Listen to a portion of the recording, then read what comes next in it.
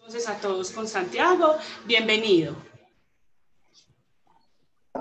Bueno, muy buenas tardes. Eh, muchas gracias por la, por la paciencia. Tuvimos una pequeña pues ya, ya estamos listos para comenzar la sesión de hoy. Eh, hoy vamos a realizar tres recetas. ¿Cómo estás? Muy bien, muchas gracias. Muy bien, gracias. Bueno tenerte por este espacio nuevamente. Sí, muchas gracias. Ya superando los impases de salud que, tuvimos hace 15 días y por eso no, no pudimos como dar la clase, pero ya, gracias a Dios, eh, se pudo superar. Bueno, perfecto. Entonces, ¿qué te parece si hacemos como una pequeña bienvenida? Vamos a compartir unas fotos y te damos entonces paso para que comencemos con todas las recetas que tienes preparados para nosotros. ¿Listo? Claro que sí, claro que sí. Perfecto. Entonces, Buenas tardes para todos, muchísimas gracias por conectarse, por habernos esperado, por la paciencia que tuvieron. Eh, les damos nuevamente la bienvenida a este emprendimiento gastronómico. Mi nombre es Mónica López y pertenezco al proceso comercial y de comunicaciones del Centro de Extensión de la Facultad de Ingeniería. Por favor, tener en cuenta que para el correcto desarrollo de las actividades, los micrófonos y las cámaras de cada uno de ustedes van a estar apagados. Cualquier duda o pregunta la pueden realizar a través del chat que yo voy a estar muy atenta para transmitírselas al chef. Ahora vamos a realizar una configuración para que sea más fácil visualizar las recetas que el chef va a, preparar. ¿Listo? Entonces, en la parte superior donde aparece el nombre, vamos a dar clic en los tres puntos. Van a escoger donde dice ocultar participantes que no tienen video. Y en la parte superior derecha van a escoger vista de galería. Disculpe, deben estar vista del hablante en vez de vista de galería. Entonces voy a repetir para que me sigan. En la parte superior, donde aparece su nombre, van a dar clic en los tres puntos y van a escoger ocultar participante que no tienen video y en la parte superior derecha, en vez de vista de galería, debe estar en vista del hablante. Listo, perfecto. Entonces, hoy nos acompaña el chef Santiago Correa, quien es egresado del Colegio Mayor y tiene una especialización en pescados y mariscos realizada en Chile con una pasantía en Viña del Mar. Santiago además ha sido chef asesor en diferentes restaurantes reconocidos de la ciudad y actualmente es asesor en Teleantioquia y ha participado en diferentes programas de cocina del canal. Santiago, bienvenido. Te vamos a mostrar entonces y a compartir fotos y a todos los que nos acompañan hoy para que miren entonces las delicias que han preparado en casa. Muchas gracias.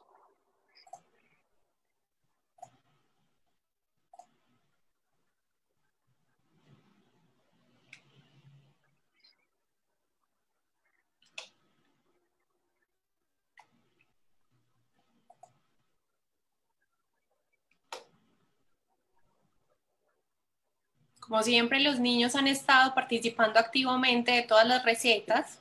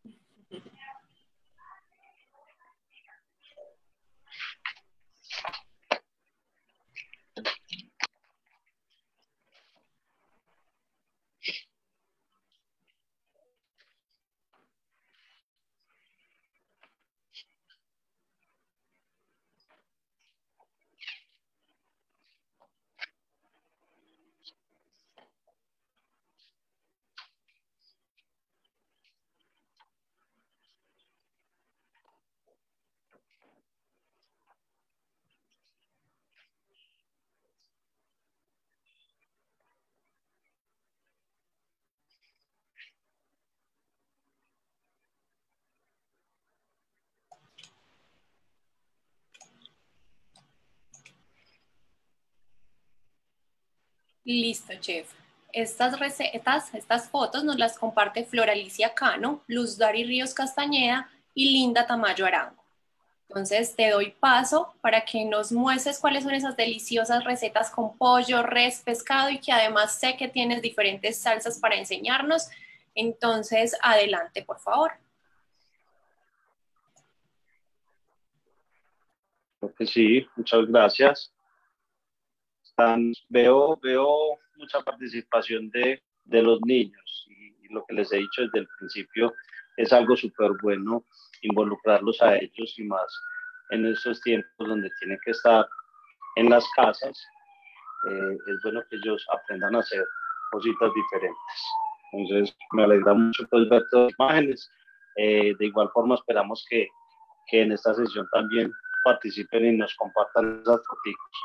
Recuerden que por cada sesión vamos a tener eh, cinco ganadores eh, a los cuales les vamos a hacer llegar un premio eh, pues por la participación y la dedicación que le han puesto todas estas sesiones. Entonces vamos a empezar hoy. Hoy tenemos tres recetas súper deliciosas. tenemos varias salsas para acompañar. Entonces, como la última sesión, la idea es que vamos haciendo las tres recetas a la vez o varias preparaciones a la vez para que el tiempo nos pueda alcanzar y de igual forma pues poderles ir explicando el paso a paso. Que si de pronto se pierden en algún paso, en algún ingrediente, eh, comunicar la pregunta y ya me la hacen saber y se las estaré respondiendo. Entonces, eh, vamos a comenzar. Como les decía, tenía, tenemos tres recetas. Eh, unas son unas alitas en una salsa agridulce y eh, otra salsa para acompañar que es una barbecue de guayaba. Entonces vamos a iniciar con esa, luego vamos a seguir con un solomito en salsa de champiñones y vino tinto. Vamos a acompañar con unas papas y la tercera es un filete de pescado hecho al vapor con unas verduras. Entonces, miren que son cositas súper sencillas, como siempre les he dicho. Eh, si no tienen pescado o cualquier otro tipo de proteína, eh, ser muy recursivos con lo que tienen siempre en la cocina. Entonces vamos a empezar a hacer una salsa súper importante que la vamos a, a, utilizar para dos preparaciones y es una salsa bechamel. Es que de harina, mantequilla y leche. Es algo súper sencillo, ustedes la pueden hacer y la pueden tener en nevera unos 10, 15 días. Recuerden siempre eh, la duración de los alimentos depende en qué sitio lo guardemos y cómo lo guardemos. Entonces, si lo tenemos en bolsitas herméticas o cosas herméticas, tenemos seguro que siempre nos va a durar mucho más las preparaciones. Entonces, vamos a empezar. Voy a pasar la cámara por este lado.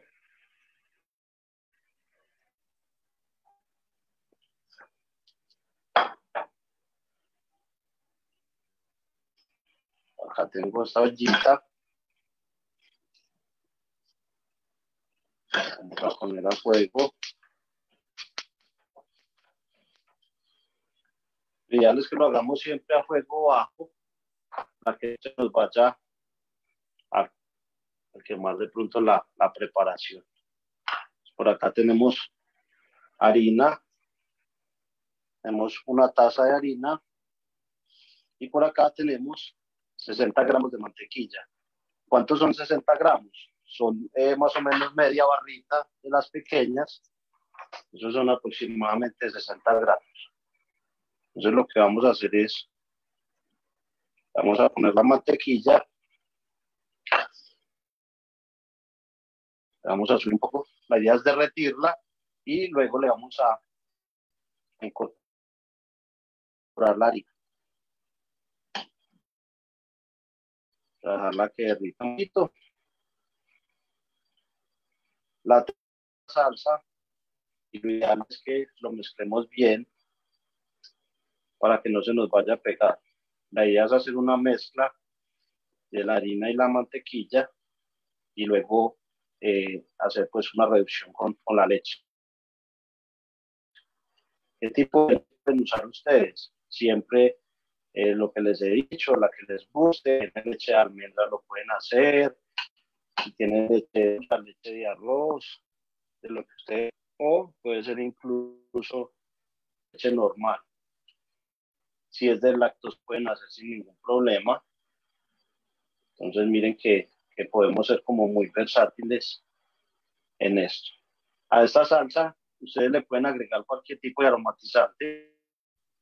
Y cuando de aromatizante me refiero a especias. Entonces acá le voy a poner simplemente un poquito de pimienta. No la quiero hacer con mucha especia, mucho sabor, para que no me vaya a opacar el sabor de la, de la carne. Entonces por acá tengo una taza. Vamos a, a ponerle solo la proporción para ese tipo de salsa en cuanto a la mantequilla y a la harina, eh, podemos decir que es una proporción de 3 por 2. serían 3 de harina por 2 de mantequilla, para que tengan más o menos una idea. Entonces miren que ella de una se seca, la harina absorbe la grasa, lo ideal es que la dejemos en ese espacio cocinando un buen rato para que cuando tengamos ya nuestra salsa no nos vaya a saber como harina. La idea es darle una pequeña coca a la harina para que no nos vaya a quedar sabiendo nuestra preparación. lo vamos mezclando bien. Lo ideal es que lo hagamos siempre a fuego bajo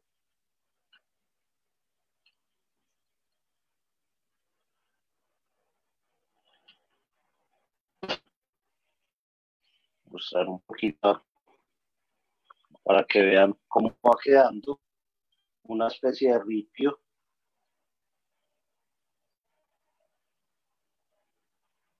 Miren que queda una especie de ripio. a cocinar un momento.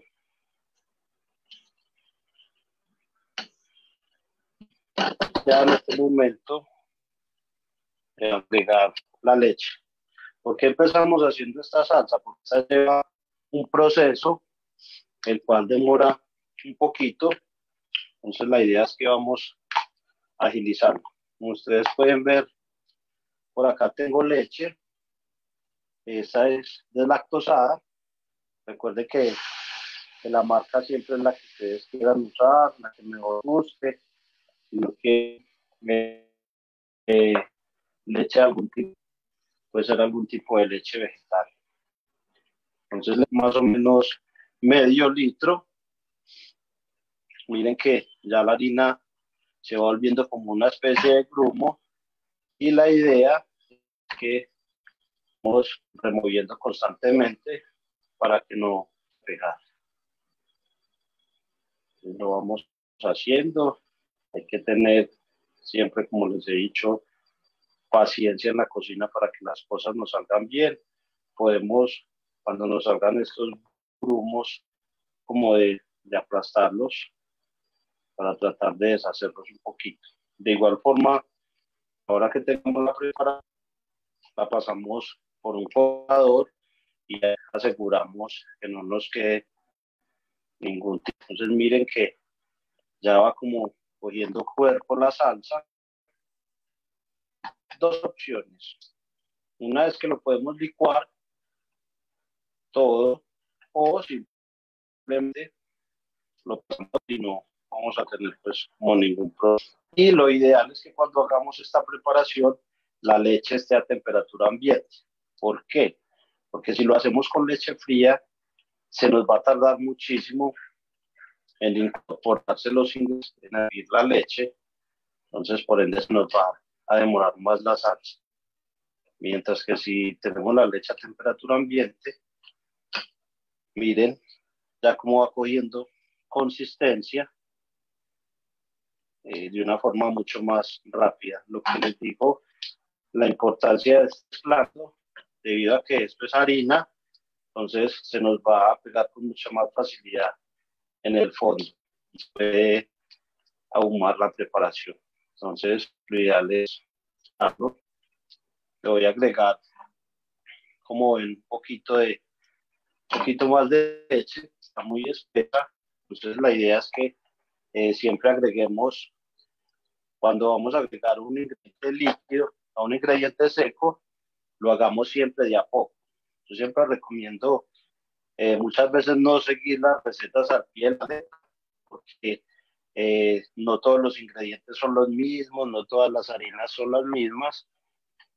Entonces, eh, lo ideal es agregar siempre los líquidos de a poquito y cerciorarnos pues de que la cosa nos quede bien. Por ejemplo, acá voy a subir un poquito al fuego y agregué un poco más de líquido, puesto que quedó algo espeso. Digamos que ya en este punto lo voy a dejar hervir un poquito. Dime. Nos pregunta Linda Tamayo, ¿qué pasa si le agregamos leche caliente? Al agregarle la leche caliente, eh, lo que pasa es que se nos va a bajar, por decirlo así, muchísimo más rápido. Y la idea ahorita es que la harina cocciona la harina para que no nos quede sabiendo la salsa de harina. Entonces, si agregamos la leche que nos va a incorporar todo muy rápido y, la harina no va a alcanzar a tener como la cocción deseada. Entonces, lo importante es partirlo así de temperatura ambiente, entonces, para que se nos incorporen mejor los ingredientes, así en este tiempo, mire que llevamos, la harina tiene pues una cocción más uniforme. De pronto les ha pasado eh, en algunas ocasiones hacemos una salsa así con harina y nos queda sabiendo eh, muchísimo harina y es precisamente porque no le realizamos la, la cocción adecuada. Acá lo que hice fue agregar un poquito de sal para darle sabor.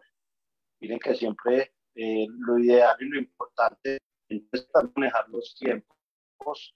entonces ustedes ven que yo le voy subiendo y le voy a que voy necesitando. Y acá lo tengo a fuego medio, lo vamos mezclando. Y miren de nuevo se me va incorporando la leche con la, la mezcla la harina y la mantequilla. Lo vamos a dejar otra consulta. Nos fuego muy bajo. Nos pregunta Mónica García que si es harina, harina de trigo, lo que tú estás usando en este momento. Sí, esta es harina de trigo normal. Eh, harinas de trigo ya en el mercado pueden encontrar muchas. Si no quieren usar harina de trigo, pueden usar cualquier otro tipo de harina, de arroz, eh, de cebada, de cualquier tipo de cereales guste, eh, o incluso eh, esa mezcla o esa salsa también queda muy bien con avena en hojuelas. Obviamente la textura no va a quedar la misma, igual de líquida, porque la avena viene pues en hojuelas. Lo que se puede hacer es que ese tipo de avena se licúa para darle como más textura. Por ejemplo, acá vemos que tenemos como grumos, eh, como les decía, no importa, porque eso lo vamos a, eliminar ahorita que la pasemos por la Entonces, harinas, las que les guste. Ya en el mercado se encuentran de todo tipo de cereal. Ya es la que ustedes tengan en su casa la que ustedes prefieran, que les guste más. Incluso eh, con harinas las fortificadas, eh, que son pues comunes para hacer eh, cierto, cierto tipo de recetas eh, en repostería y en pastelería, con ese tipo de harinas también se puede hacer este tipo de salsas. Entonces miren que ya tiene una mejor consistencia. Lo que voy a hacer es que la voy a dejar ahí un momento a fuego muy bajo. Y eh, vamos a, a, realizar otras, las otras dos tipos de de las que les había hablado. Tenemos por acá, vamos a pasar un instante, vamos a realizar eh, otro tipo de salsa muy sencilla, que es una salsa agridulce, la cual lleva azúcar morena, tenemos salsa de tomate, la negra, la marca que que ustedes siempre prefieran. Acá tenemos un vasito de jugo de naranja. Si no les gusta jugo de naranja, podemos usar de mandarina, podemos usar zumo de limón, eh, de maracuyá, la fruta que ustedes prefieran. Y eh, como toque adicional, vamos a usar Coca-Cola, porque la mayoría eh, nos gusta la Coca-Cola. Entonces, veamos un poquito, vamos a pasar por este lado de nuevo. Y la idea es que cuando hacemos este tipo de preparaciones, eh, ellas por lo general siempre llevan un buen tiempo de cocción, entonces lo ideal es siempre, siempre hacerlas primero para que cuando ya tengamos nuestra proteína eh, no vayamos a, a tener como inconveniente. Entonces, cantidades, vamos a ponerle por acá dos cucharadas de azúcar. Estas equivalen eh, a dos cucharadas de las normales. Una cucharada de estas equivale a cucharadas de las normales. O sea que en este caso serían cucharadas de azúcar de las cucharadas normales que usamos. Acá tenemos tres cucharadas de salsa de tomate. La vamos a agregar. No tienen salsa de tomate, no le quieren poner tomate, pueden usar pasta de tomate, que también le va súper bien.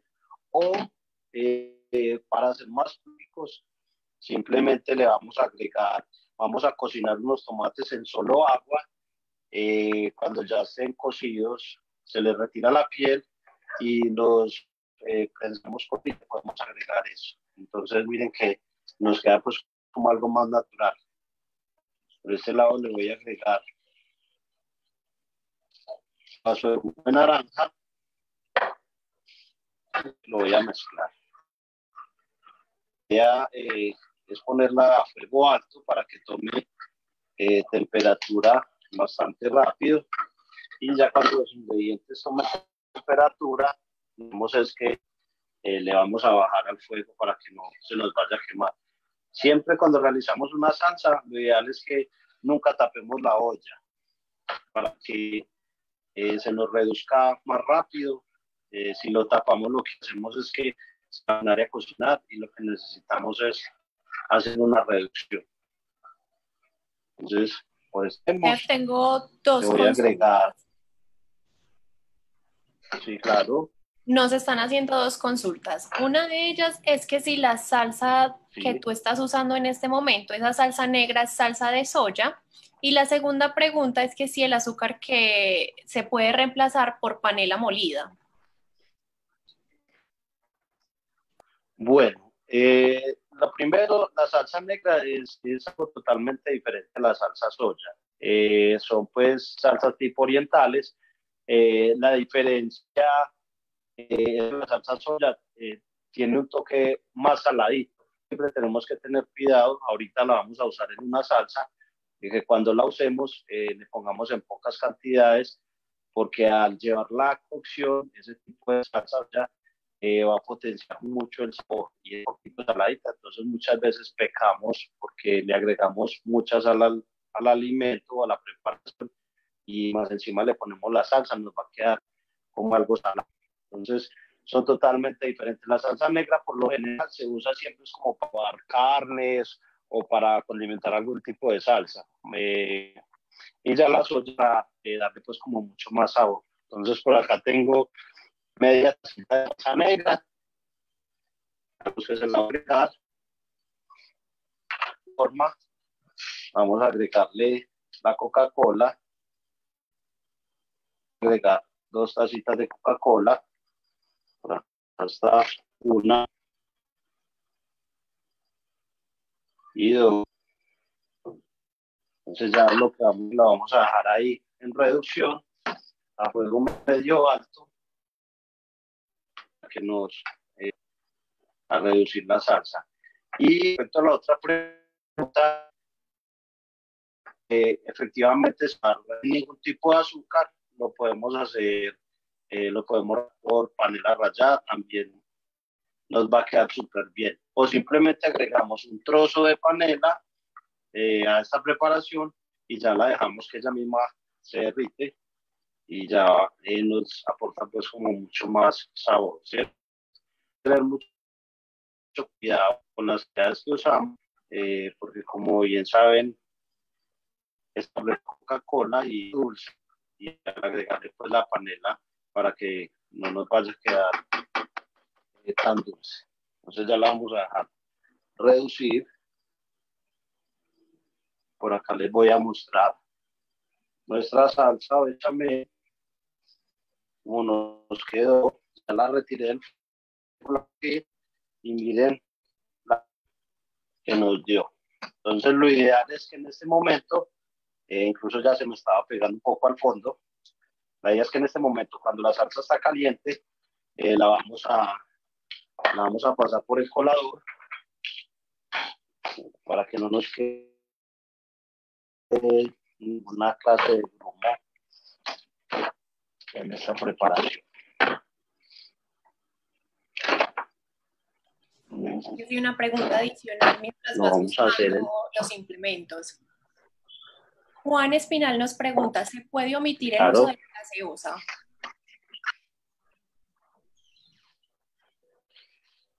Sí, la gaseosa no, como les digo, nos aporta un poco de, de sabor dulce, eh, pero eh, obviamente se puede omitir, no hay ningún problema si no lo hace. Eh, la salsa de igual forma va a quedar bien. Entonces, por ese lado no, no tenemos ningún inconveniente. Vamos a pasar por acá. Y van a ver, vamos a ir amisando nuestra salsa. Entonces, por acá el lo como les digo, es que siempre, siempre lo hagamos así caliente. Acá la tengo. Para que sea mucho más fácil. ¿Qué pasa si la dejamos enfriar? Se nos va a poner mucho más brumosa y no nos va a dejar trabajar bien la salsa más adelante. Entonces, eh, cuando eso nos pasa, eh, lo que debemos hacer es volverla a llevar al fuego, volverla a calentar para poder que nos dé la consistencia deseada. Entonces miren que ya van quedando los grumos. Voy a ponerlo por acá para que lo vean bien. Bien. dejarlos ahí o si ustedes prefieren eh, llevarlo a la licuadora, eh, hay mucho más fácil, se deshacen los grumos y ya se pasa nuevamente por el colador y nos va a quedar mucho más fácil, más sencillo pero muchas veces no, no tenemos como los, los implementos, entonces podemos hacer así de forma manual. O si no lo desean en licuadora, pues en procesadora de alimentos, ya ustedes miran la que más fácil es que vamos a hacerlo sacar otro poquito para que lo usemos ahorita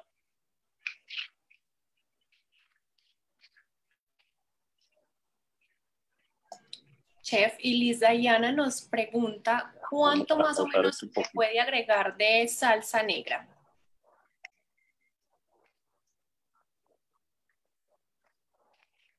Para la salsa agridulce. Sí, chef.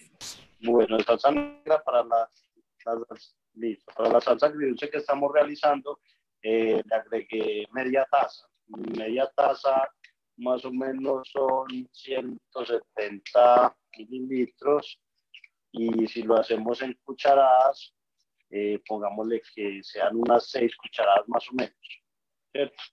Entonces, para que vayan teniendo como, como una idea. Miren que al pasarla por el lado con una mejor consistencia, la salsa ya la vamos a a reservar. Vamos a reservar para, para utilizarla ahorita. Y como les decía, hay otra salsa que vamos a realizar y es una salsa barbecue de guayaba. Es súper sencilla. Se las voy a mostrar acá por este lado. y los ingredientes que vamos a utilizar son unos ingredientes súper básicos. Tenemos salsa soya, de la que estábamos hablando ahorita, es esta. Tenemos media taza. Por acá tenemos jugo de guayaba, que simplemente es tomar las guayabas bien maduras y llevarlas a la licuadora con un poquitico de agua. Como pueden ver, el, el jugo está bastante concentrado y esa es la idea eh, para que nos quede bien la preparación. Tenemos un pimentón rojo, si no desean rojo lo pueden usar del color que, que más prefieran y tenemos piña. Entonces miren que es súper sencillo. También tenemos por acá azúcar morena, como lo hablamos ahorita, si no quieren usar azúcar morena, podemos usar panela ya también nos va a quedar muy bien. Entonces lo que vamos a hacer simplemente es Vamos a agregar los ingredientes. En este sartén tenemos la salsa soya. Por acá tenemos la guayaba. Miren, ustedes lo que les hablo. Es un jugo súper concentrado. Simplemente lo procesamos en, en muy poquita agua para que nos quede el concentrado que deseamos. Le vamos a agregar unas cuatro cucharaditas de azúcar, cucharadas normales, las cucharaditas son pequeñitas, pero estas son de las normales. Por este lado tenemos nuestro pimentón, le vamos a poner simplemente medio. Recuerden siempre que es importante desinfectar y, y lavar muy bien las verduras. Ya lo teníamos previamente listo. Le quitamos eh, las semillas y la partecita blanca, sí, dime. Mm, y en vez de guayaba, ¿qué podríamos usar? Y también, por ejemplo, se puede cambiar el pimentón por otro ingrediente. Bueno, eh, termino acá. Y ya les, les explico. Entonces, lo ideal de quitarle eh, la semilla en la parte blanca es porque si se la dejamos nos va a dar un sabor un poco amargo, entonces no, no queremos eso. Lo ideal es cortarlo pequeño y ya se lo vamos a agregar. Eh, si no se desea pimentón, no hay ningún problema, no lo puede usar. O eh, eh, lo que pasa es que muchas veces la gente no, no le gusta el pimentón porque les cae súper mal. Hay una forma sencilla de podérselo comer sin que nos haga daño y es quitándole la piel. Lo podemos llevar a fuego directo en la estufa que se queme bien, que quede bien negrito, le retiramos la piel, las semillas y de esa forma eh, pimentón no les va a hacer daño, yo sé que muchas personas no comen por eso, que la piel es dañina, pues ya retirar la piel eh, no va a tener como ningún tipo de inconveniente y si realizamos ese proceso eh, nos va a quedar con un toque de sabor ahumado el pimentón, que lo podemos usar para ensaladas, para algún tipo de salsa o para la preparación que, que más nos guste. Y si no desean ponerle guayaba, eh, acá viene lo chévere, lo pueden hacer con cualquier tipo de fruta que ustedes quieran. Le pueden poner maracuyá, le pueden poner mango, le pueden poner lulo. Entonces, digamos que este es como un tipo de base y ya si no les gusta la fruta, en este caso eh, usé la guayaba, me gusta mucho y, y le da un sabor súper chévere podemos usar cualquier otro tipo de fruta. Fresas, eh, moras, eh, uvas, eh, nos quedaría una barbecue de frutos rojos. Si le agregamos lulo, nos quedaría una barbecue de lulo. Con tomate de árbol también queda súper deliciosa. Con cualquier tipo de fruta que, que ustedes imaginen, lo pueden experimentar y créanme que les va a quedar una preparación muy, muy deliciosa. ¿Qué es lo bueno de este tipo de salsas? Que se pueden realizar en cantidad y simplemente las podemos guardar. No soy muy partidario, por ejemplo, de usar eh, salsas eh, de las que venden en el mercado, porque en realidad muchas veces no sabemos qué estamos comiendo o qué ingredientes les ponen. Entonces podemos ser muy prácticos y nosotros mismos podemos realizar las salsas en la casa. Entonces miren que de una forma muy natural, sabemos qué es lo que le estamos poniendo y obviamente no, no nos exponemos como adquirir algún tipo de enfermedad y por las salsas que a veces son como muy dañinas cuando las consumimos en cantidad. Entonces por acá le voy a agregar unas dos rodajas de piña más o menos. La piña es algo pequeña. Digamos que con esta cantidad va a ser suficiente. Vamos a dejar esta otra un ladito. Voy a eh, agregarle un poquito de sal. Por acá está. Lo que hace la sal en esta preparación es realzarle el sabor y recuerden que como tiene salsa soya, simplemente se le pone un poquitico. Y por este lado, lo que hago es ponerle pimienta. Digamos que en lo personal me gusta mucho usar la pimienta porque le da un sabor espectacular a las preparaciones. Eh, claro está que siempre lo hago, es con pimienta que uno puede moler al instante, porque en muchas ocasiones eh, no recomiendo o no me gusta usar la pimienta que venden ya molidas, porque lo que hacen es realizar un tipo de mezclas de, de hierbas y de ramas para rendirla obviamente y, poderla hacer comercial. Y eh, en realidad no, no probamos pues como el sabor de, de la pimienta. Entonces siempre esos molinos los venden ya en cualquier tipo de, de almacén de cadena, incluso los venden ya pequeñitos con la pimienta adentro. Entonces mire que son súper prácticos. Mezclamos un poco y vamos a pasar a este lado. Vamos a pasar a este lado. Ya les voy a mostrar por acá.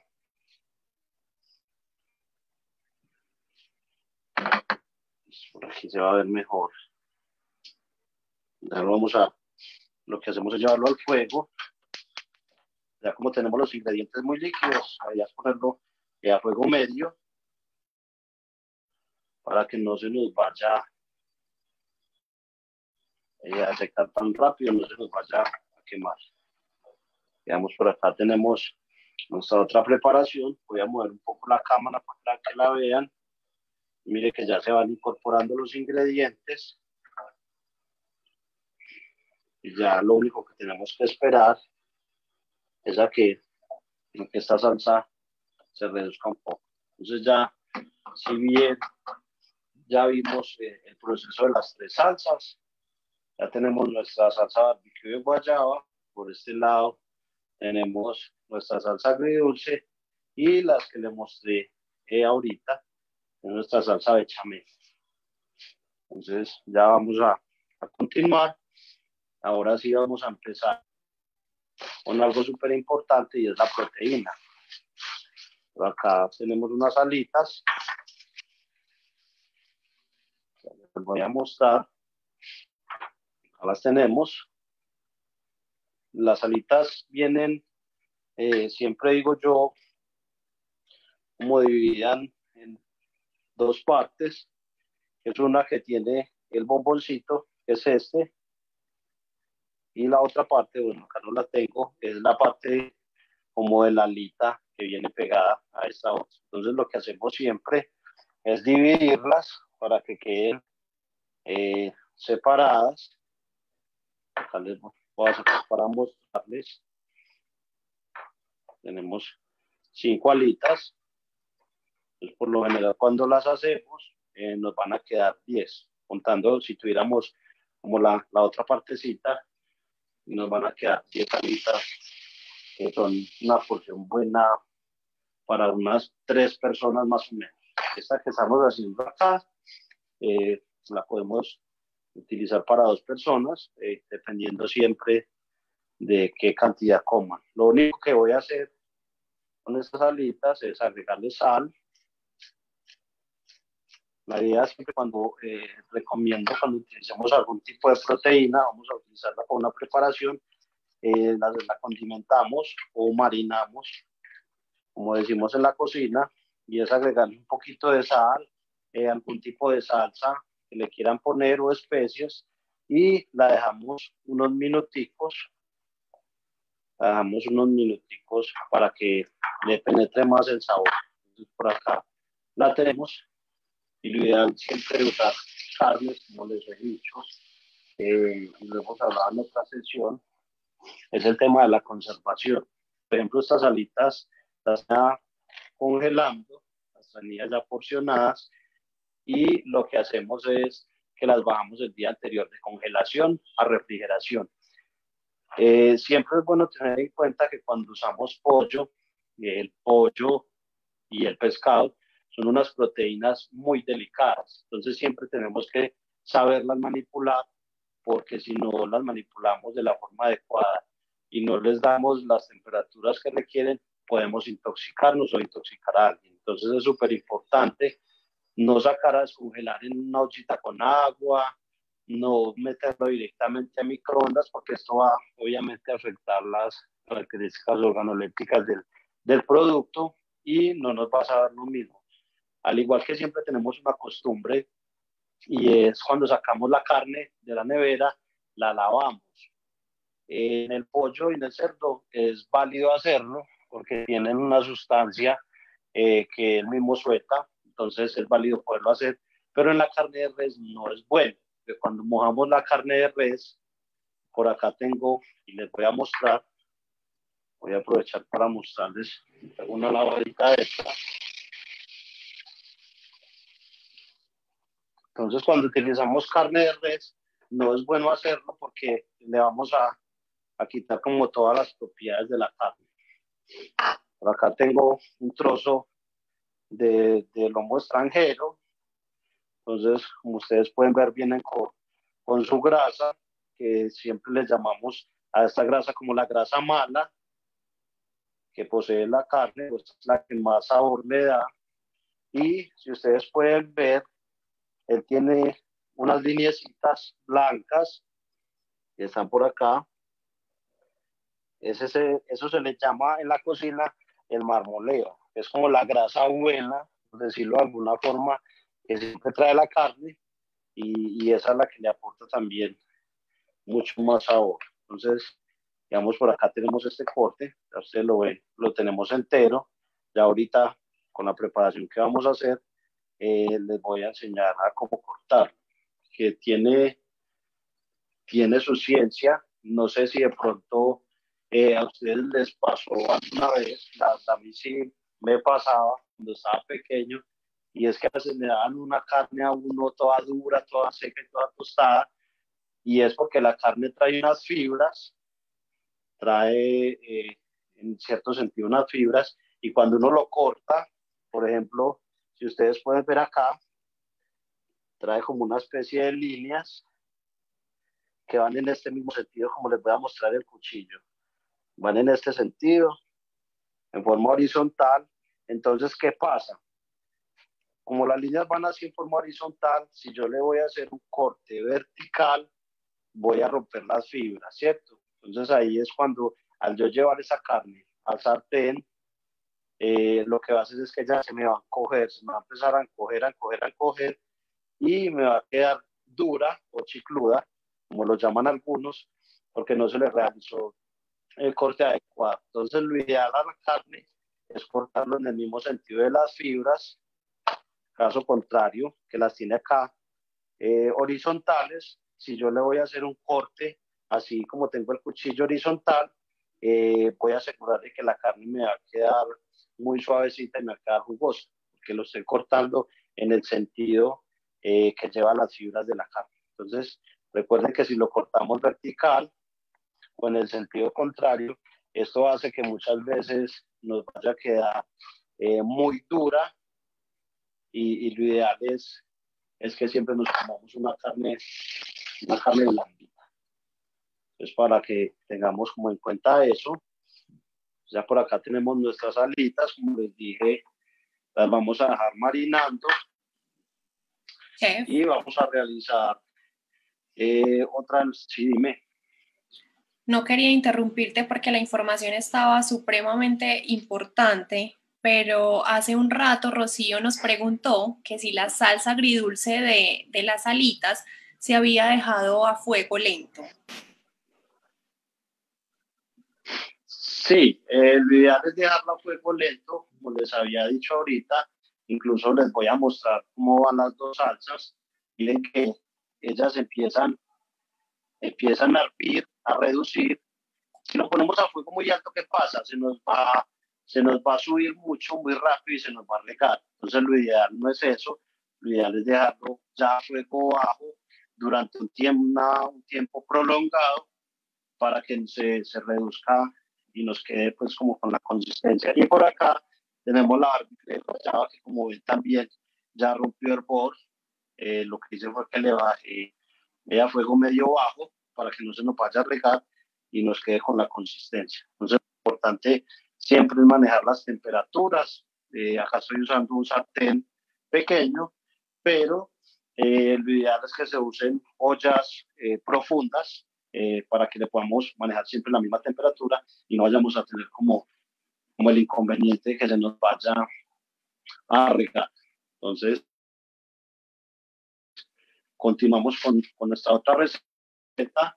Como les dije, la idea es que vamos alternando para que, para que nos alcance el tiempo.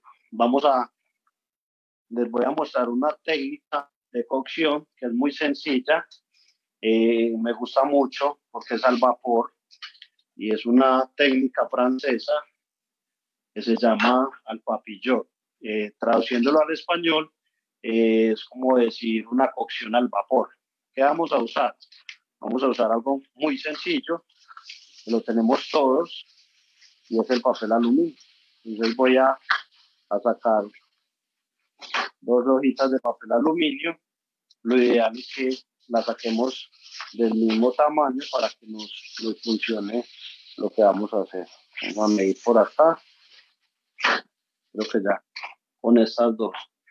Hay algo súper importante con el papel aluminio, no sé si, si alguno sabía eso, pero me parece importante que lo sepa, y es que el papel aluminio tiene dos caras, una que es muy brillante y otra que es opaca. Entonces, yo creo que ahí la cámara nos, nos da la opción de ver las dos. Esta que estoy señalando acá es la parte opaca y que tengo acá es la parte brillante. Eh, siempre que vamos a realizar un tipo de cocción, dependiendo de qué es lo que queremos hacer, eh, es la cara que usamos de, del papel. Me explico. Si queremos meter al horno cualquier tipo de proteína o cualquier tipo de preparación y queremos que la preparación esté súper rápido, lo que debemos hacer es que ponemos la parte opaca hacia arriba. ¿Qué hace esto? que con la parte opaca hacia arriba lo que va a hacer es que va a penetrar más fácil el calor eh, del, del, horno en el recipiente y eh, nos va a tener una cocción mucho más rápida. Pero si queremos eh, realizar una cocción lenta y que sea uniforme, lo vamos a usar por la parte dorada, ¿cierto? Lo vamos a usar por esta parte brillante, perdón, y lo que hace es que no va penetrar como tan fuerte el calor, entonces esto nos va a asegurar que la cocción que tengamos eh, sea más lenta, pero sea como más eficiente y más uniforme. Entonces, eh, lo que hace es esto, cuando lo usamos por la parte opaca, los rayos, por decirlo así, o el calor penetra, pega en el fondo del recipiente y se devuelve, y como esto es una parte más brillante, lo que hace es que no va a dejar que el calor vuelva y salga. Entonces, por eso la cocción cuando lo usamos así, eh, es mucho más rápido. Y ya para hacerla más lenta, como les digo, la ponemos la parte brillante hacia arriba, así como está. Vamos de cuenta que este es nuestro recipiente, lo tapamos y ya nos va a generar una cocción mucho más uniforme, pero más lenta. Entonces, para que tengamos en cuenta eso. Si tienen algún tipo de pregunta con respecto a esto quieren que les explique de nuevo, eh, me lo hacen saber y con mucho gusto lo hacemos. Entonces, tenemos por acá nuestras dos láminas de papel aluminio. Vamos a hacer, como les decía, un, un pescado. Por acá tengo dos filetes. Este es un filete de tilapia. Si no tiene tilapia, pueden usar trucha, pueden usar salmón, el tipo de pescado que a ustedes les guste. Ahora, si no quieren usar filete y tienen un pescado entero, lo pueden hacer. ¿Cuál es la recomendación? Que cuando usamos un pescado entero, obviamente se nos va a demorar mucho más la cocción Entonces, tenemos que, que tener en cuenta eso. Vamos a destaparlos. Los pescados, como les decía ahora, eh, es súper importante saberlo manejar eh, porque es una proteína súper delicada. Digamos, tenemos acá nuestros dos filetes. No les voy a poner ni sal ni, nada por el estilo. Simplemente eh, voy a usar unos pequeños acompañantes, como lo son la papa, la tengo por acá, la papa nevada, por acá tengo zanahoria, tengo zucchini verde amarillo y también tengo pimentón. Entonces miren que son unos vegetales súper sencillos, súper fáciles de conseguir. Eh, ahora si no quieren usar ningún tipo de estos vegetales, pueden usar los vegetales que ustedes quieran. Hay algo súper importante acá, que es el orden en que los vamos a poner. Acá lo tenemos. Entonces vamos a, a realizar un corte con las papas. Es muy importante realizar siempre un corte uniforme para que la cocción eh, sea igual en todos los ingredientes. Entonces vamos a partir unas rodajas de papa, ideales que no sean ni muy gruesas ni muy delgadas. Y de esa misma forma vamos a realizar el corte en el resto de vegetales, porque es importante que lo hagamos de la misma forma, para que así eh, la cocción, como les decía ahorita, sea igual y no nos vaya a quedar crudo ningún alimento, que todos se nos cocinen en el mismo tiempo. Yo creo que ya con estas papas tenemos, por acá tengo zucchini verde, voy a retirar esta parte. Entonces, como pueden ver, si yo parto una rodajita, va a ser algo como similar al, al mismo tamaño de la papa. Miren, al mismo tamaño, entonces lo ideal es el manejar los tamaños. Como vamos a hacer una cocción al vapor, lo ideal es hacerla un poquito gruesa para que no se nos, no se nos vaya a deshacer rápido eh, las verduras y nos queden un toque crocante. Vamos con este. mire que vamos a usar tres tipos de vegetales. Eh, algo que yo siempre recalco mucho eh, en la cocina son los colores. Yo creo que les, les he hablado algo sobre la neurología de los alimentos y es eh, qué tan importantes es los colores en los alimentos y a qué hacen referencia. Entonces miren que un plato así colorido yo creo que da ganas de, de conversar y repetir. Vamos a pelar la zanahoria. Eh, por lo general, eh, la cáscara de zanahoria la podemos usar para algún tipo de bebida, de infusión, para un jugo. También lo podemos usar. Muchas veces lo que hacemos es desechar las cáscaras de los alimentos, pero en muchas ocasiones son estas las que eh, almacenan como toda la, la proteína eh, que tiene el alimento. Entonces, a veces es bueno, al igual que la cáscara de la papa, ustedes lo vieron, en este caso se la dejé para que nos aporte mucho más sabor y, y tratemos de no, no desperdiciar alimentos. Creo que ya las zanahorias las tenemos por ese lado. Vamos a partir unas rodajitas de pimentón. Como les decía ahorita, es importante retirarle las semillas y la parte blanca y eso nos garantiza que no nos va a generar ningún tipo de, de sabor amargo, que es lo que está, está eh, presenta. Entonces, los cortes vamos a hacerlos en julianas. Por ese lado tenemos. Voy a pasar esto por acá y voy a poner nuestra lámina de aluminio. Como les decía ahora, la voy a poner pues, por la parte de arriba, que sea la parte opaca, para que se me cocinen bien los alimentos. Entonces, acá tenemos, por este lado se los voy a poner para que lo vean bien. Ya tenemos todos nuestros vegetales y el orden es súper importante. La parte de abajo es la que va a generar más calor, porque luego lo vamos a llevar a un sartén. Entonces necesitamos que las papas nos queden bien cocidas lo que vamos a hacer es que vamos a formar primero una cama de papas. Siempre que vamos a acomodar los alimentos, ya lo van a ver, eh, es importante respetar el espacio de los bordes para que ahorita podamos eh, sellar bien eh, el aluminio y nos genere ese vapor. Vamos a continuar con las zanahorias. Como les decía ahorita, este tipo de preparación se llama, eh, la técnica se llama papillot, que traduciéndolo al español es una preparación al vapor. Eso es una técnica muy típica francesa, pero digamos que acá la adaptamos y, y la usamos como a nuestro modo. Entonces ya tenemos el zucchini. Lo que voy a hacer es algo importante. Voy a agregar un toquecito de sal, la parte de abajo, un toquecito de pimienta.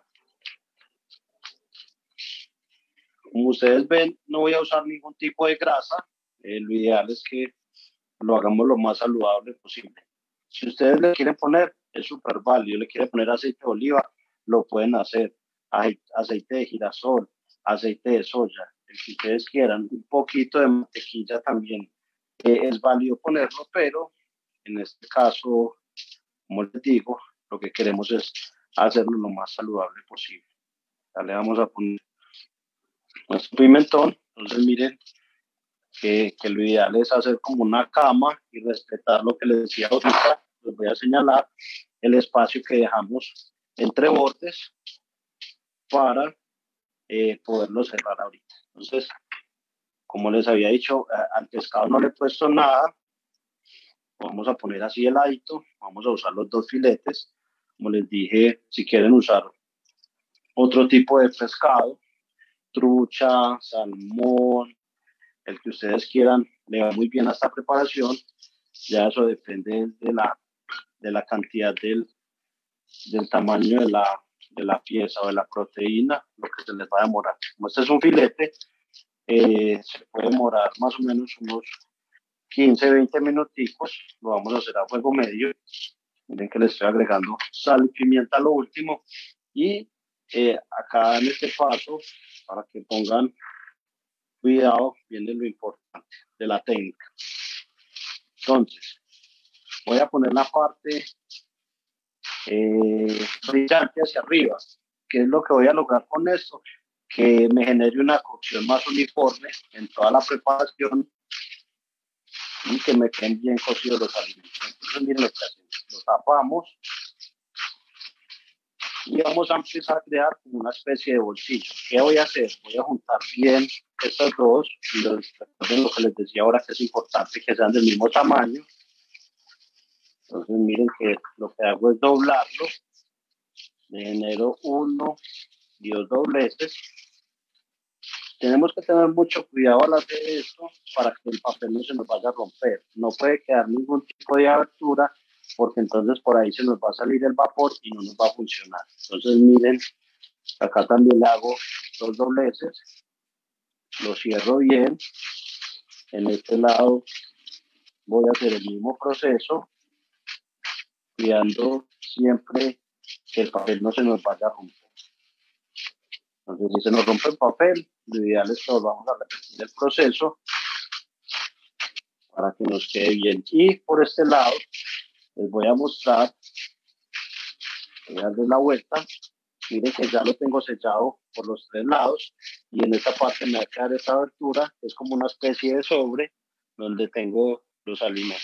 Entonces, ¿Qué vamos a hacer? Vamos a repetir el mismo proceso, lo vamos a cerrar y lo ideal es darle vueltas hasta donde llegue la parte del alimento. No lo podemos forzar mucho porque este papel es súper delicado y se nos puede dañar.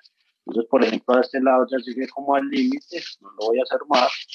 Acá me aguanta otro doblez, lo voy a hacer. Tengo una verticita, entonces la idea es no no forzarlo mucho para que no se nos dañe. Y por último, en este lado, le voy a hacer el último doblez. Entonces siempre tenemos que como rectificar el doblez, lo llamo yo, y sellarlo bien. Entonces miren que ya ahí lo tenemos. tenemos es como una especie de sobre, ya los alimentos están adentro, no le agregamos ningún tipo de grasa, simplemente los vegetales, eh, la sal y pimienta y ya lo tenemos listo, lo tenemos echado. Acá tenemos algo importante. Si ustedes lo quieren llevar al horno, lo pueden hacer. Recuerden que el tiempo siempre depende de qué tan grande sea la proteína. En este caso, si lo quisiéramos llevar al horno, esta preparación, eh, se nos va a demorar unos 10 minuticos, más o menos a unos 160 grados. Ya si fuera un salmón, que la proteína es más gruesa, eh, se nos puede demorar más tiempo, unos 15, 20 minuticos. Eh, eso si hablamos del horno convencional, eso no se puede llevar obviamente a horno microondas, a tener aluminio no, no se puede llevar y no nos va a quedar bien. O la segunda opción es esta que les voy a mostrar. por acá, yo busco un sartén. Lo tengo acá. Miren, este sartén es un sartén normal. Lo que hago es, lo voy a poner acá, entonces, con mucho cuidado siempre vamos a levantar, que nos queda una especie de sobre, y lo voy a llevar ahí. ¿Qué voy a hacer con esto? Ya les voy a mostrar. Por acá, vamos a llevar la cámara a este lado. Como ven, ya tenemos por acá nuestra salsa de guayaba y por acá tenemos nuestra salsa de dulce que va súper bien. Entonces, voy a pasar nuestra salsa por acá, debajo del fuego. Sí. ¿Nos puedes repetir, por favor, la temperatura en la que podemos hornear el pescado? Y si nos corriges, porfa, si son centígrados o Fahrenheit. Bueno, sí, eh, más o menos para esta preparación, como es un filete, a unos 160, 165 grados centígrados, eh, durante unos 10, 15 minuticos, ¿cierto? Entonces, eh, ya como les explicaba, acá simplemente lo pongo eh, a fuego medio, lo pongo en el sartén y voy a dejarlo ahí en el fuego. Entonces, por acá vamos a pasar, vamos a contabilizar más o menos unos 15 minuticos, 20 minuticos, todo depende de la temperatura que le demos. Lo ideal no es que se nos queme, sino que se nos cocine uniformemente.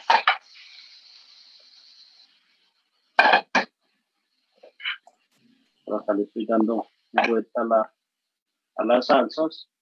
Es importante que, las mezclemos constantemente para que no se nos vayan a pegar. Y ya eh, vamos a continuar nuestra otra receta, que ahora sí viene la res. Ya las alitas las tenemos ahí marinando. Eh, simplemente lo que vamos a hacer ahora con las alitas es llevarla a aceite bien caliente eh, hasta que dore la piel por fuera y luego eh, las terminamos en cocción con la salsa para que nos quede mucho más suave. Entonces miren que la carne son como músculos. Lo que vamos a hacer es a separarlos y ya les voy a explicar el corte que les vamos a realizar para que nos quede bien jugosa la, la carne. Vamos a usar un pedacito nomás. Entonces lo importante es quitarle este tipo de grasa. A veces ella sale súper fácil, si no le metemos la punta del cuchillo. Lo ideal es no desperdiciar carne Mire que lo sostenemos y ponemos el, el cuchillo como hacia arriba, lo vamos haciendo suave, vamos deslizando suave mire que ya sale pues la grasa y no desperdiciamos como tanta carne. Y ahora, como les decía ahorita, las fibras de la carne van en este sentido, en este caso horizontal. Entonces lo que voy a hacer es que lo voy a cortar. Voy a hacer unas llanas para que lo usemos en nuestra próxima preparación. Vamos a hacerlo en una salsa eh, de champiñones con vino tinto. En este caso, eh, le quise hacer una, una pequeña variación eh, con el vino. No le voy a poner vino, sino que le voy a poner un poquito de ron. Entonces, cuando usamos licores en las comidas, es súper importante saberlos usar para que no nos vaya a quedar como, como ese sabor a alcohol que muchas veces nos queda eh, porque no les sabemos dar como, como la cocción adecuada. ¿Qué voy a hacer en este momento? Ya tenemos nuestras julianas. Simplemente les voy a poner pimienta y les voy a poner sal. Recuerden que este proceso de más rápido lo hagamos es mejor porque lo podemos dejar un rato para que la proteína eh, nos tome mucho más sabor y no vayamos como, como a tener inconvenientes de que nos quede como insípida muchas veces. Entonces, igual ahora rectificamos la sal cuando la estemos cocinando. Y ya por este lado voy a llevar al fuego. Les voy a mostrar.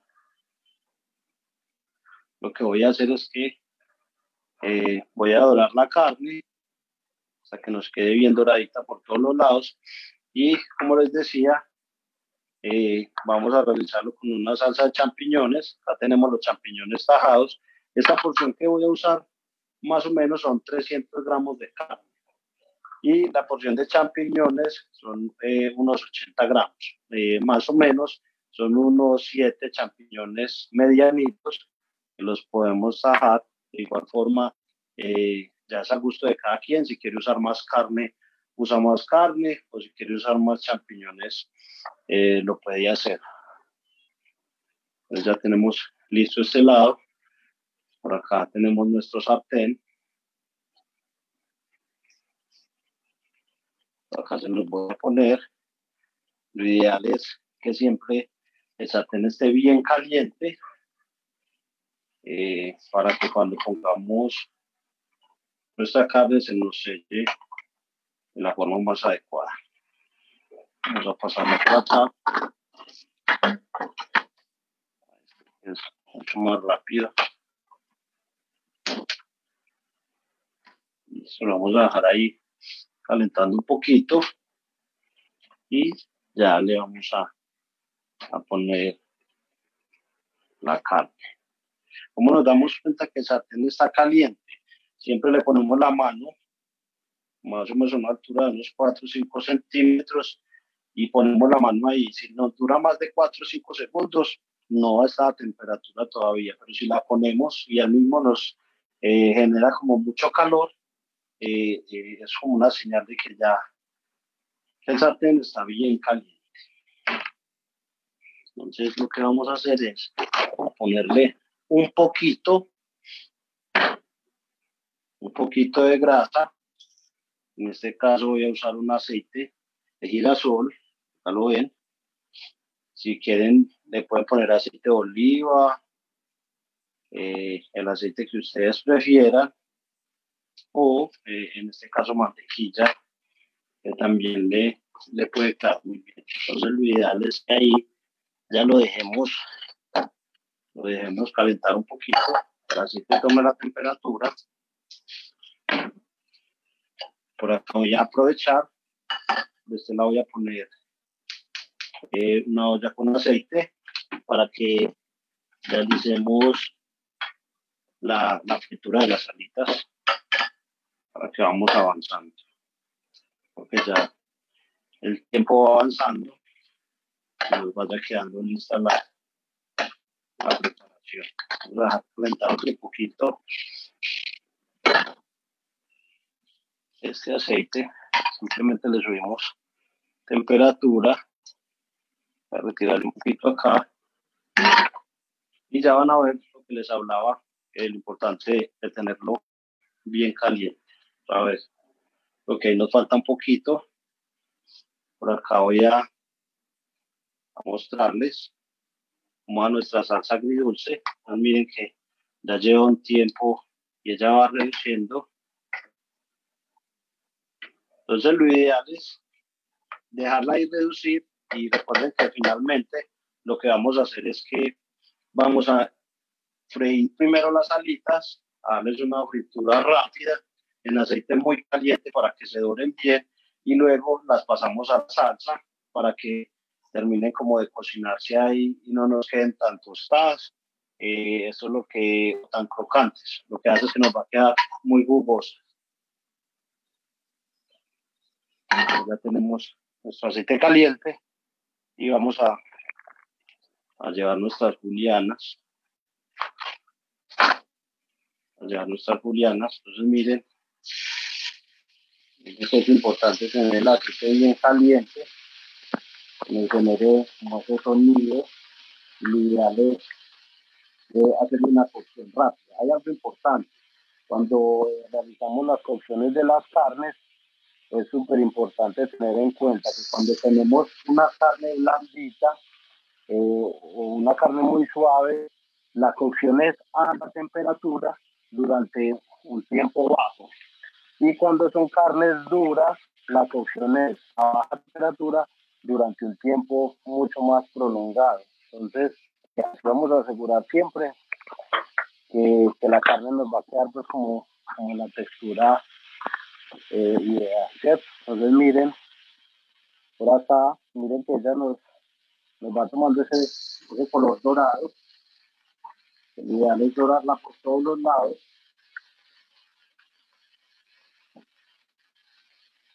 Y en este caso está el teatro. Recuerden que estamos a una temperatura alta en un tiempo cortico para que nos quede en la textura ideal. Esta es una carne especial para freír, una carne blanda, entonces digamos que, la mayor cantidad de veces es como la carne a término, ya en términos si ustedes deseen, si la quieren bien cocida, eh, no hay ningún problema. aprender esto.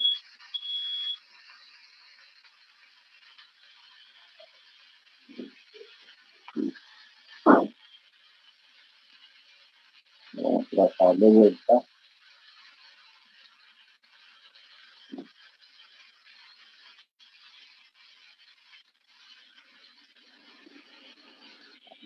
La extracción por acá. Entonces miren que ya nos va tomando como la textura deseada y ya se nos va dorando por todos los lados. Como les decía, en el recetario que les van a pasar a ustedes, eh, les aparece que, que, lleva vino tinto.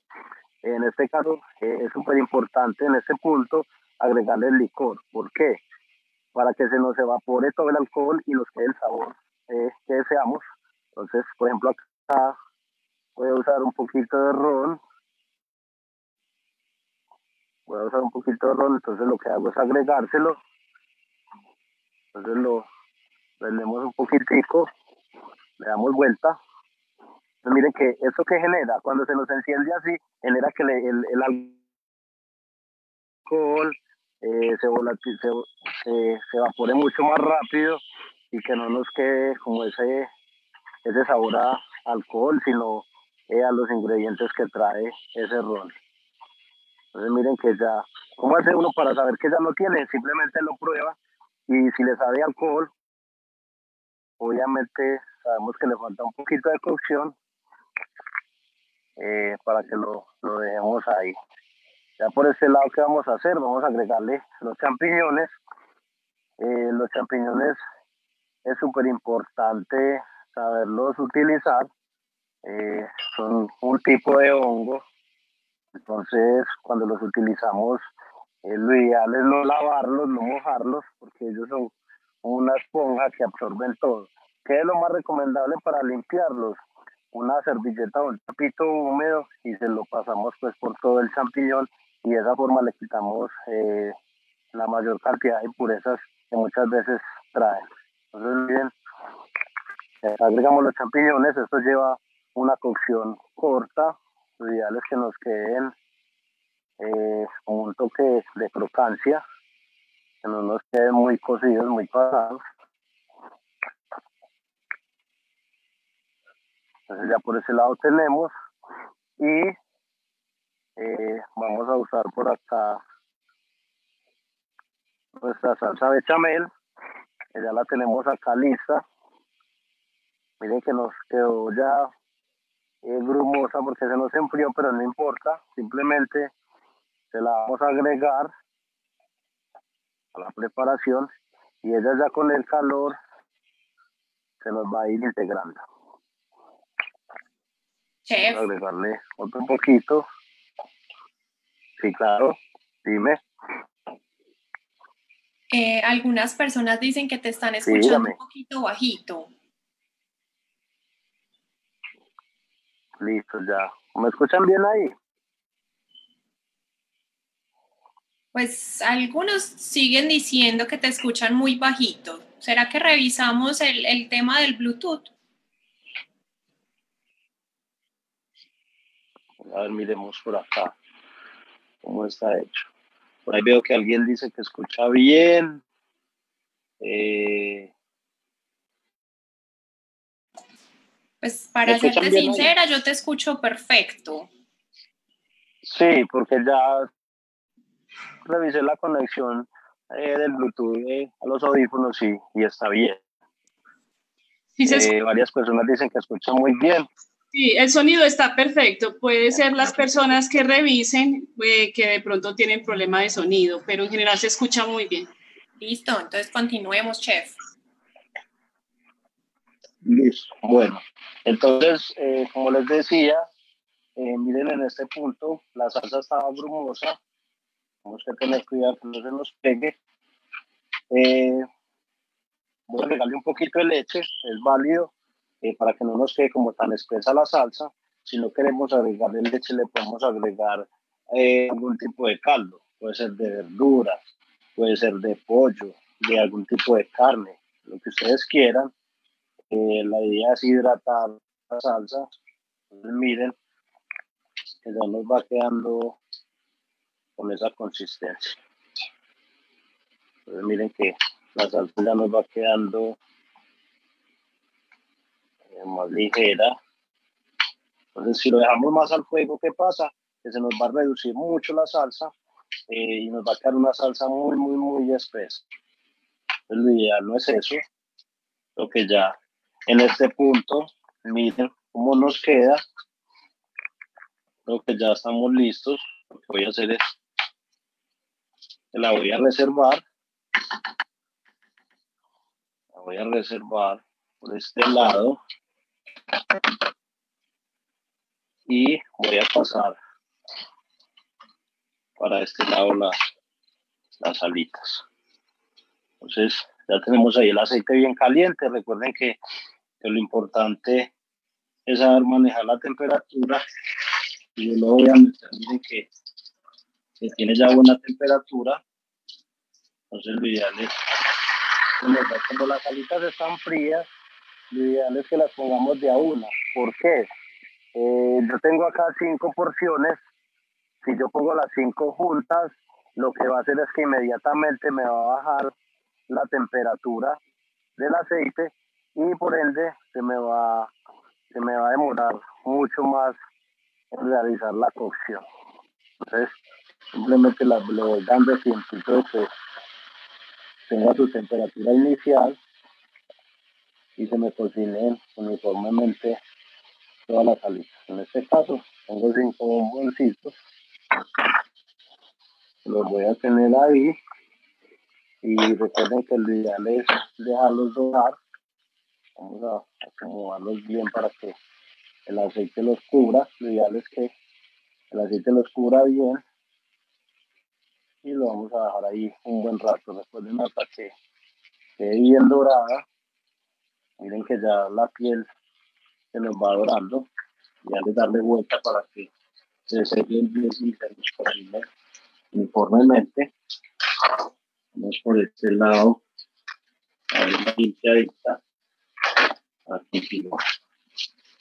es siempre tener la cocina organizada ir limpiando lo que estamos ensuciando y así nos va mucho, mucho mejor.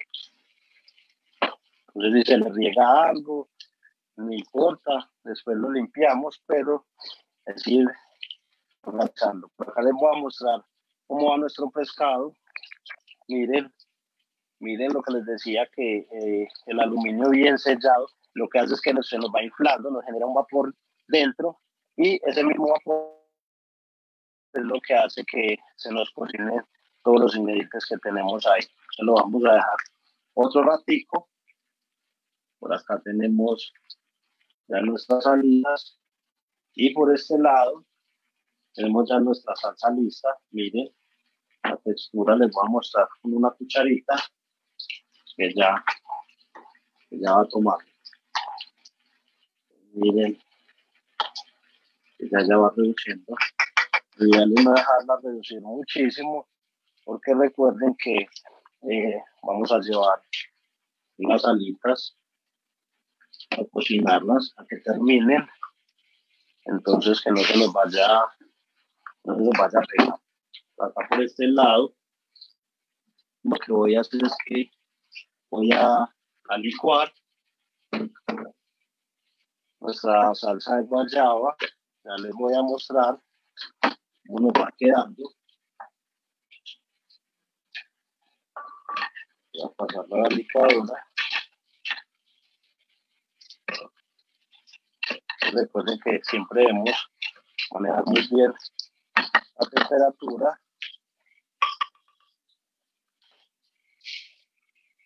Entonces miren por este lado, voy a mostrar, ya tengo la salsa.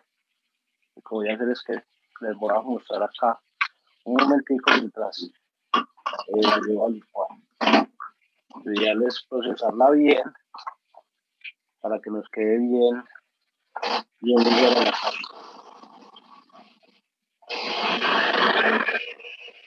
lo estamos licuando la salsa, nos va a quedar eh, así como un estilo barbecue, un tono marrón, eh, más o menos clarito, eh, debido a que le pusimos guayaba. Entonces digamos que muchas veces el color pues, que nos genere no importa.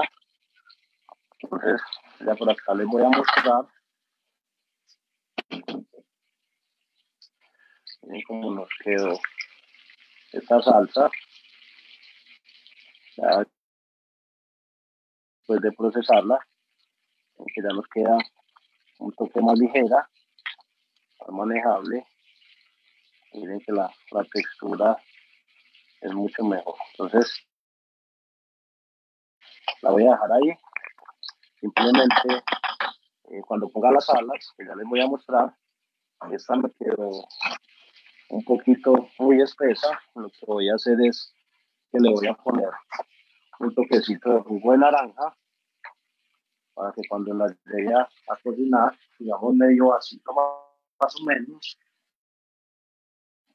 cuando llegue a cocinar la salita no, no se me vaya a pegar. Digamos que ya por este lado Estamos listos. Cuanto a las salsas. Chef, te voy a interrumpir. En su punto. Claro. Hace un rato Gloria nos había preguntado que qué piezas de carne son adecuadas para cortar a través de las fibras, así como nos habías explicado, cortarlas en cubos como para un goulash. Bueno, por lo general, eh, cuando eh, hacemos goulash, que es una preparación lleva una cocción prolongada, eh, es bueno o se pueden usar tipos de carnes así duras. por ejemplo, está la posa, está el muchacho, ese que usamos como el muchacho relleno, o cualquier otro tipo de carne que sea dura, debido a que lleva una, una cocción mucho más larga. ¿cierto? Entonces digamos que ahí no, no influye como el corte eh, de la carne, porque como son preparaciones que llevan mucho tiempo, eh, no tenemos ningún problema que nos quede dura, ¿cierto? Ahora cuando hacemos un goulash eh, con carnes así como solomitos, solomos extranjeros que son más blandas, lo ideal es que sí realizamos el corte adecuado y lo hagamos en una eh, cocción mucho más rápida para que no se nos vaya a dañar la carne. Por acá vamos a aprender nuestra salsa. Les voy a mostrar lo que salita ya está. Miren, lo que les hablaba, lo ideal es que estén bien, bien doradas por todos los lados. Y ya lo que voy a hacer es que la voy a llevar a nuestra salsa. Ya les voy a mostrar. Vamos a repartir una para una salsa y otra para el otro lado. Vamos a instalar esta. Y lo ideal es cuando saquemos de, la fritura, la llevemos directamente a la salsa. ¿Para qué? Para que nos, nos cocine súper bien. Vamos a por este lado, por aquí vamos a cambiar. Por acá ya las tenemos. Lo que vamos a las vamos a bañar, vamos a mezclar bien.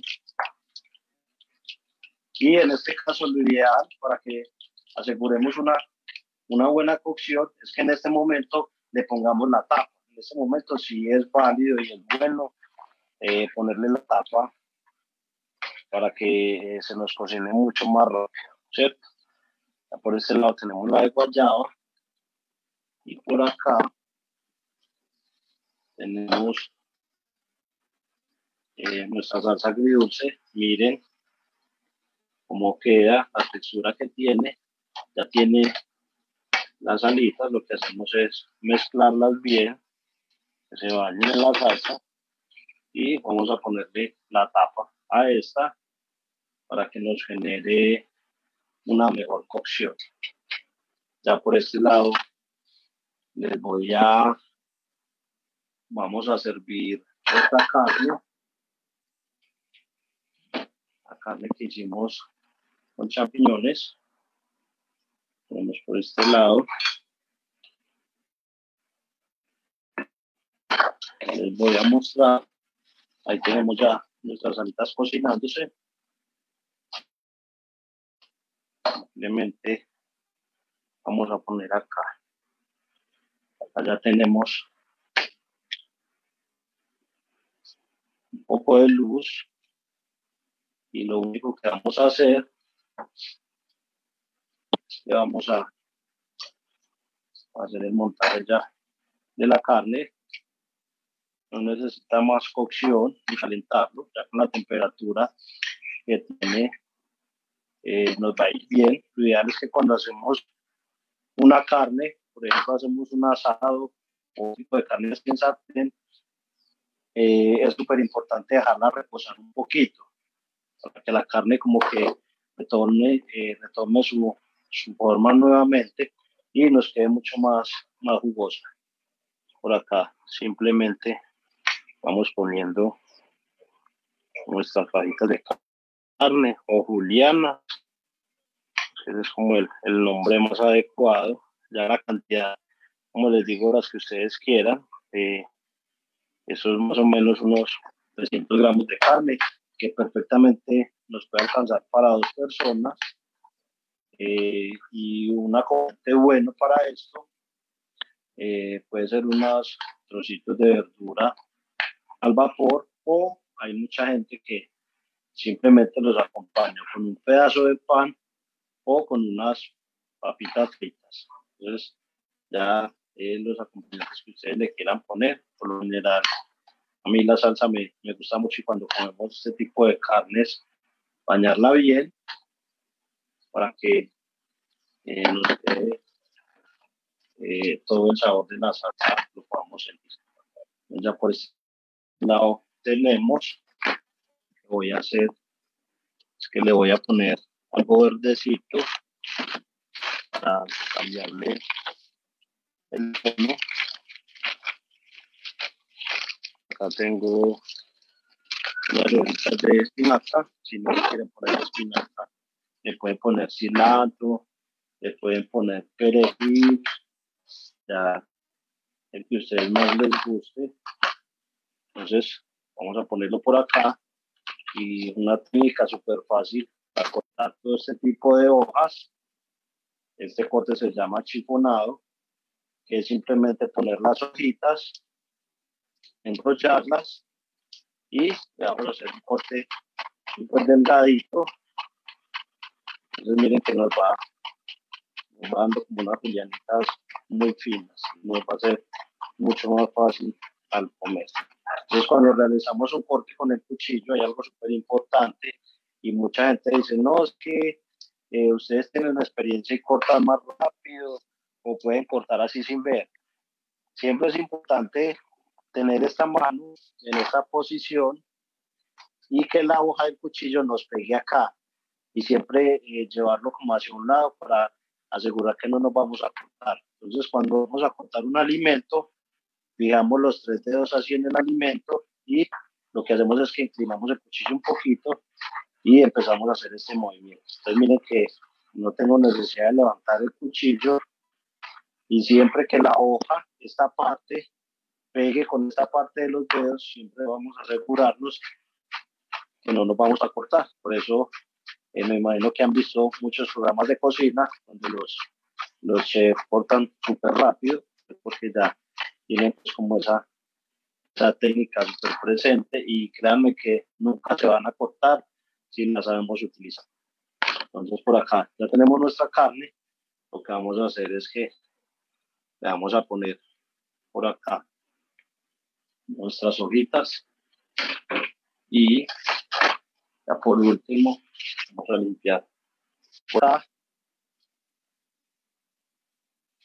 que nos quede bien presentadito.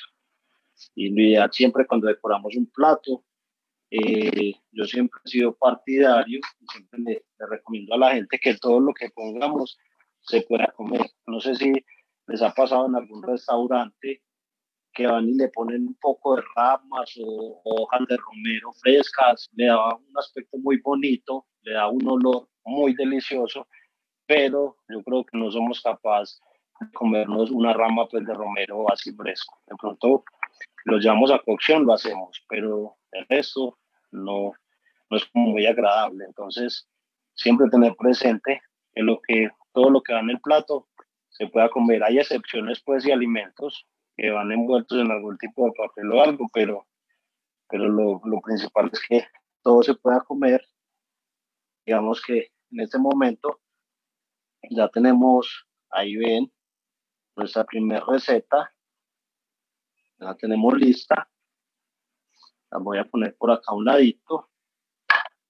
Y ahora se las, se las muestro todas. Por acá estoy revisando las alas y van súper bien. Y les voy a mostrar también el pescado ya. Yo creo que va a estar. Miren acá.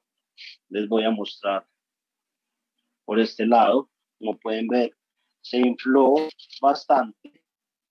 Eh, entonces eso nos asegura cuando lo hemos desinflado, es que le hicimos un, un buen cierre al, al bolsillito o al sobre, ¿cierto? Realizamos bien la técnica y ese vapor es lo que, no, es lo que nos garantiza que el alimento esté bien cocido. Ya por este lado se los voy a mostrar. Más fácil, lo que voy a hacer es que con cuidado, siempre debemos usar guantes o algo para no quemarnos. Y lo ideal es que este plato es muy sencillo.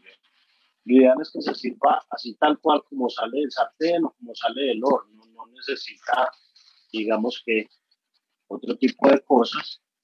Y miren, vamos a poner por este lado. Como pueden ver, se infla bastante. Es, miren, acá se ve, se infla bastante por el vapor. Entonces, simplemente que recomiendo yo con este plato, algo muy, muy, muy sencillo para servir. Lo ponemos en un plato con un cuchillo unas tijeras, simplemente le vamos a hacer una abertura teniendo muchísimo cuidado, porque obviamente tiene mucho vapor. Entonces, lo único que hacemos es una abertura con el cuchillo. Si ustedes llevan esto a la mesa y le realizan la abertura eh, delante de la persona eh, que se lo vaya a comer, es, es algo súper chévere. Incluso en muchos restaurantes lo hacen. Entonces lo que hacemos es simplemente doblar acá y ustedes no se alcanzan a imaginar el, el vapor y el olor que genera esto de la cocción de los alimentos. Entonces, miren, les voy a mostrar que queda súper bien cocido el pescado y las verduras. Entonces, miren que, que no necesita eh, absolutamente nada más. Ya ahí lo tenemos. Si queremos acompañar esto con algunas salsa, es muy válido. Incluso en el recetario que tenemos o que les van a mandar, eh, nos habla ahí de hacer una salsa de quesos que es súper fácil a ponerle a eso. Es simplemente coger la salsa bechamel que hicimos, la que ya les enseñé a hacer, le agregamos un poquito de queso crema, unas lonchitas de, de queso mozzarella y un poquito de queso parmesano y lo llevamos al fuego un ratico hasta que el queso se derrita y ya ahí tenemos nuestra salsa de quesos. Simplemente se la agregamos al final y, y nos va a quedar pues también súper delicioso, aunque les recomiendo que se lo coman así, mucho más saludable, eh, cocida totalmente al vapor. Y por último, ya tenemos nuestras alitas, ya se las voy a, presentar por acá. Tengo dos platicos. este lado. Entonces simplemente vamos a coger las alitas. Acá las tengo, esas las alitas con la barbecue de guayaba. Entonces miren que ellas quedan totalmente bañadas en la salsa y quedan totalmente cocidas, no les va a quedar cruda ni nada por el estilo. Eh, como les decía, ahora me gusta eh, bañar con buena salsa las proteínas. Entonces miren que, por este lado nos queda nos quedan las alitas con la barbecue de guayaba. ¿Con qué podemos acompañar estas alitas? Con unos trocitos de zanahoria, unos trocitos de apio, unas papitas fritas, ya digamos que eso eh, corre como a la imaginación de ustedes y, y, lo ideal es que hagan siempre lo que más les guste. Y por este otro lado, tengo las alitas en la salsa agridulce.